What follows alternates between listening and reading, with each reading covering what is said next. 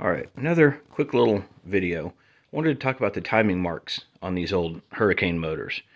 So, most of them are really hard to see because of where they live underneath the alternator or generator, depending on what yours is running.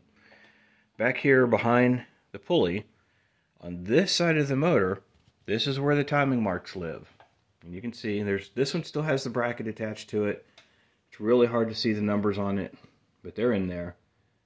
The little tab wraps around the front so you can uh, shoot the timing against the gear. A lot of newer motors, and if you're familiar with small block Chevys, will typically have the timing marks over here on this side so you can see them a little bit easier.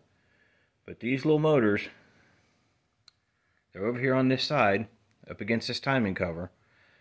Now, I have been told some of them actually run the timing marks on the flywheel and you have to get underneath it and shoot the flywheel to get the timing on it. I haven't seen that, but I haven't taken too many apart to look for it.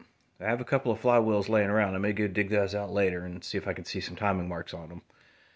But in a standard F-134 Hurricane motor, right here is where the timing marks live.